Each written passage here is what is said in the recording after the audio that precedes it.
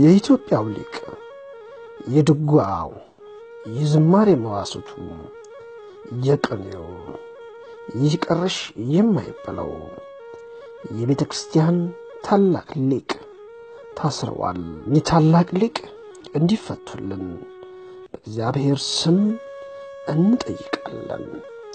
ይህኝ ታላቅ አባት እንደ ሥራቸው አግማሴ ይባላሉ። እንደ ሥራቸው አግማሴ ማን ናቸው? ኢትዮጵያ ኦርቶዶክስ ተዋሕዶ ቤተክርስቲያን እምነት ተከታይ ብቻ ሳይሆን በመላው ዓለም የምትገኙ ኢትዮጵያውያን የሀገር ሀብት የሆኑ ታላቅ ምሁር ኢትዮጵያ በእስር ቤት አስቀምጣለችና ይህ ድምፅ ለሚሰማ ሁሉ ኢትዮጵያ ኦርቶዶክስ ናት page ላይ share በማድረግ እንደዚሁም ደግሞ ቤተ ተዋህዶ ቲዩብ ላይ የምትመለከቱ ቲዩቡ ላይ ካያችሁ በኋላ ለወገኖቻችሁ share በማድረግ ሁሉም ኢትዮጵያዊ እንዲሰማው እናድርግ። እንደሥራቸው አድማሴ ማን ናቸው?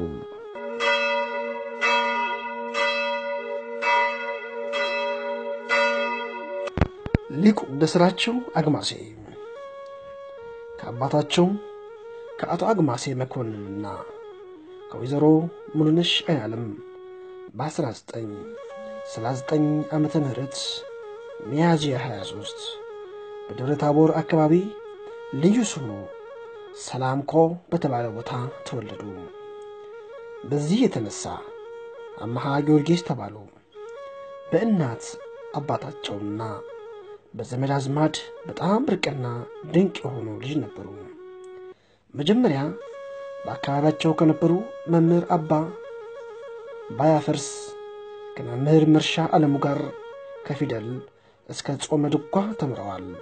ቀጥለውም ጸዋትወ ዜማ ከአለቃ ማተመ ጌጤ፣ ቀኔ ወረታ አካባቢ ከሚገኘው መሪጌታ ጌቴ ተምረዋል። እንደገናም ከመምህር ጥበቡ ቅኔና ምስጢር አደላድለዋል። የተክሌን አቋቋም ከአለቃ ማኅተመ ጌጤ ካጠኑ በኋላ አዛወር ኪዳነ ምሕረት ከመሪጌታ ጀንበር ድጓን እንደገና ተምረውታል። ቀጥለውም ታች ጋይንት ከምትገኘው የኢትዮጵያ የድጓ ዩኒቨርሲቲ ቅድስት ቤተልሔም ገብተው ድጓን ከመምህር ጥበቡ አስመስክረው የድጓ መምህር ሆነዋል። ሊቁ እንደ ሥራቸው ድጓን አስመስክረው ከተመረቁ በኋላ በደብረ ታቦር ኢየሱስ የተክሌ አቋቋም ምስክር ከሆኑ አለቃ ቀለመ ወርቅ ይማም የተክሌ ዝማሜን ጥሩ አድርገው ተምረዋል፣ አስመስክረዋል። በቅድስት ቤተልሔም በአብይ ጾም ዝማሜ ይሰጥ የነበረው ለመምህር እንደ ሥራቸው እንደነበር የሚያስታውሱ ሊቃውንት አሉ። መምህር እንደ ሥራቸው ደብረ ኢየሱስ ቤተ ክርስቲያን ላይ ጸሎተ ሃይማኖትን በዝማሜ በሚዘምሩበት ጊዜ ንብ ከእጃቸው ላይ ያርፍባቸው እንደነበረም የአይን ምስክሮች ዛሬም በአድናቆት ይተርኩታል።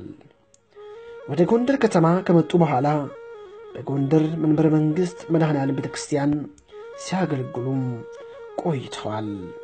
ለመምህር እንደ ሥራቸው አግማሴ ጎንደር በነበሩበት ጊዜ በኢትዮጵያ ኦርቶዶክስ ተዋሕዶ ቤተ ክርስቲያን የሐዋርያ ቅዱስ ጳውሎስ መንፈሳዊ ትምህርት ቤት ሥራ አስኪያጅ፣ የታሪክ የሂሳብና የዜማ መምህር በመሆን ሰፊም አገልግሎት ፈጽመዋል።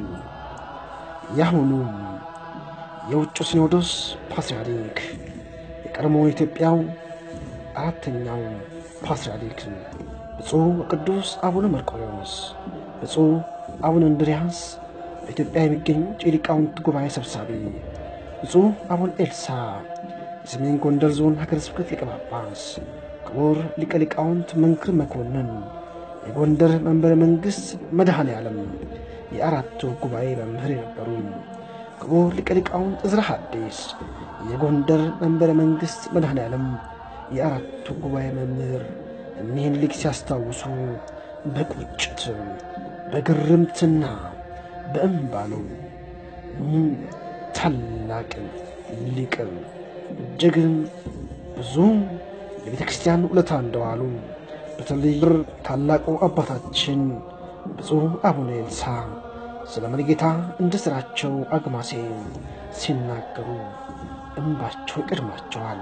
ብፁዕ አቡነ ኤልሳ ስለ ታላቁ ሊቅ አንስተው አይጠቅሙም። እንዲህ ይላሉ። የተክሌ አቋቋም ከጊዜ በኋላ ቢጠፋ ወይም እኔ አንድ ነገር ብሆን ብለው ዘጠኝ ካሴት የሚሆን ዜማ በካሴት ቀርጸው አስቀምጠዋል ሲሉ ብፁዕ አቡነ ኤልሳ ስለ ታላቁ እንደ ሥራቸው አግማሴም በቁጭት ይናገራሉ። ሌሎችም ሊቃውንት እንደ ሥራቸው መቋሚያ ይዞ ሲዘምም እንኳን ሰዎች ንቦች ይመሰጣሉ ሲሉ ስለ ታላቁ ሊቅ ንግግር አድርገዋል። ታላቁ ሊቅ የቤተ ክርስቲያናችን ዓይን የነበሩ እንደ ሥራቸው አግማሴ ከዚህም አልፈው በጎንደር የኪራይ ቤቶች አስተዳደር ድርጅት ዋና የአስተዳደር ክፍል ኃላፊ ሆነው አገልግለዋል። ሊቁም እንደ ሥራቸው ሁለት ሴት ልጆችና ሰባት ወንድ ልጆች አሏቸው። እኚህ ታላቅ ሊቅ በጳጳሳቱ የተፈቀሩ፣ በሊቃውንቱ የተደነቁ፣ በካህናቱ የተወደዱና በምዕመናን የተናፈቁ ሊቅ ድንገት በሐምሌ 1986 ዓ ም የውሃ ሽታ ሆነው ጠፉ። ይህም የተክሌ ዝማሜ ሊቃውንትንና የኢትዮጵያ ቤተ ክርስቲያን ምዕመናንን አስደነገጠ።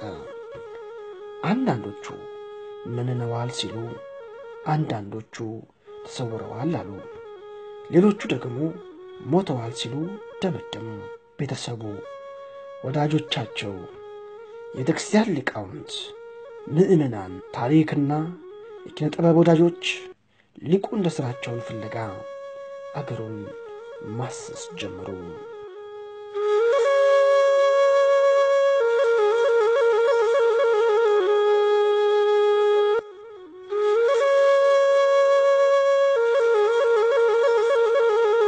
በመጨረሻም ጉዳዩ እንዲህ ሆኖ ተገኘ። ሐምሌ 12 ቀን 1986 ዓ ም ሲሰሩበት ከነበረ የቤት ኪራይ አስተዳደር ድርጅት ቢሮ ወደ ቤታቸው ሲመለሱ የሆኑ ሰዎች ይቀርቧቸውና ወደ መኪናቸው አግተው ያስገቧቸዋል። ከሌሎች የታፈኑ ሰዎች ጋር ጎንደር ራስ ግንብ ተብሎ ወደሚጠራው እስር ቤት ይወሰዳሉ። ከዚያ በኋላ ያያቸው የለም።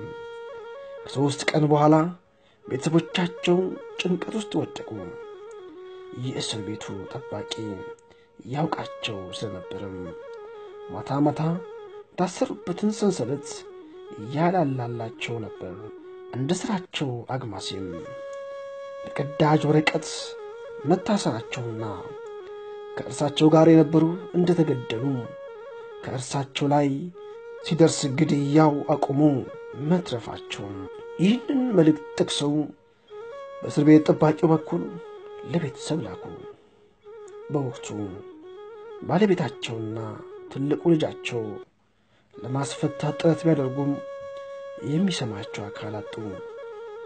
ከዚያን ጊዜ ጀምሮ የት እንደተወሰዱ ሳይታወቅ እንቆቅልሽ ሆኖ ቀረ።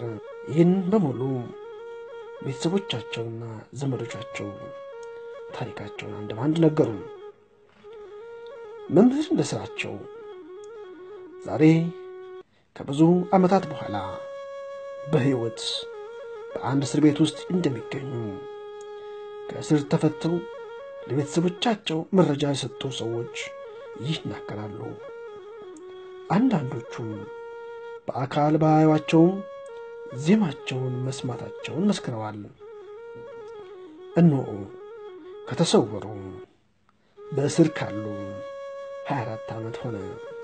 ታላቁ ሊቅ እንደ ሥራቸው አግማሴ ሀገራችን ኢትዮጵያ ትልቅ የእውቀት ቤተ መጻሕፍት ለትውልድ እውቀትን ሊያሸጋግር የሚችል የሚነበብ መጽሐፍ በእስር ቤት ለትውልድ እንዳሸጋገር አስራና ቆልፋ ትገኛለች።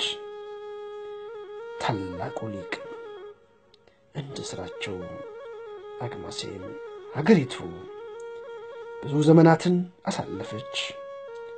አሳልፋም አይለቀቁም የተባሉ የፖለቲካ እስረኞችን ለቀቀች። እኒህ ሰው ቢፈረድባቸው እንኳን እስከ ዛሬ ሊፈቱ ይገባ ነበር።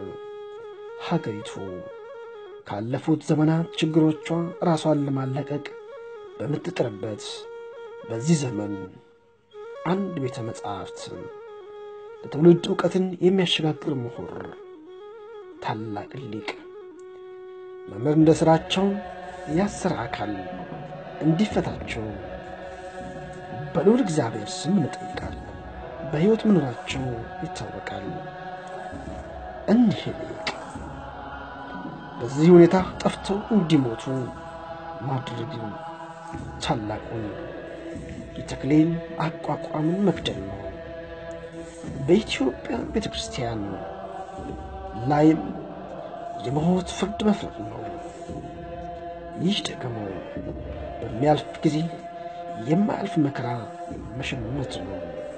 በቅዱስ ሲኖዶስ ደረጃ የምትገኙ ብፁዓን ሊቃነ ጳጳሳት ቅዱስ ፓትርያርኩን ጨምሮ የቤተ ክርስቲያን ታላቅ ሊቅ የቤተ ክርስቲያን ዓይን የሆኑ ምሁር ነገ ተተኪውን ትውልድ የሚያስተምሩ በእስር ቤት ተገኝተው ስለ እነዚህ ሊቅ ድምፃችሁን ከፍ አድርጋችሁ ባለመናገራችሁ ይህን ሊቅ ባለመፈለጋችሁ ትውልድ ሲወቅሳችሁ እስከ ዘላለም ይኖራል።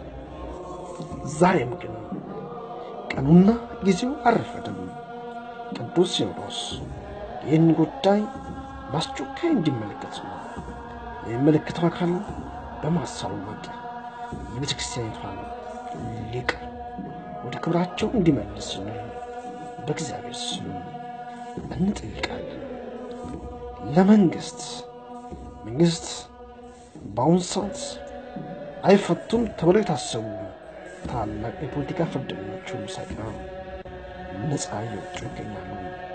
ይህ ወቅት ይቅርታና ንስሐ ነው ይባላል። ይቅርታና መሻሻል ደግሞ ያለፉትን ስህተቶች ከማረም ይጀምራል። አያሌ ሊቃውንትና ደቀ መዛሙርት ወደፊት የኔታ እንደ ሥራቸው ሲመጡ እንቀጽለዋለን እያሉ ዛሬም በጉጉትና በጸሎት ይጠብቃሉ። ታላቁ ሊቅ ዳግማዊ አለቃ ተክሌ የኢትዮጵያ መንግሥት እንዲፈታልን በእግዚአብሔር ስም እንጠይቃለን። ሁሉም ኦርቶዶክሳዊ ይህንን መልእክት ሁሉም ኢትዮጵያዊ እንዲያስተጋባው share በማድረግ ለሁሉም መልእክቱ እንዲዳረስ እናድርግ። በፌስቡክ መንደራችን ድምፃችንን ከፍ በማድረግ መንግሥት ይህንን ድምፅ እንዲሰማው የበኩላችንን ጥረት እናድርግ።